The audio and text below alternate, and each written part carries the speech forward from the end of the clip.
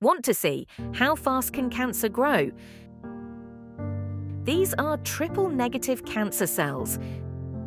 These are an aggressive subtype that are known to grow very quickly. At day one, the cell count is low and have a circular shape. The cells have not yet developed any other structures. By day two, the cells start to develop spindle-like structures, making them appear stretched out. This is when the cells start to grow rapidly.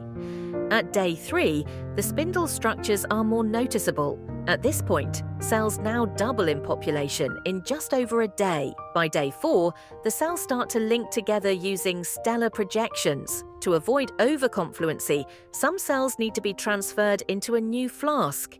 You can also see the colonies formed in a flask left for long enough. These need to be seeded with a low cell count and stained to be visualized.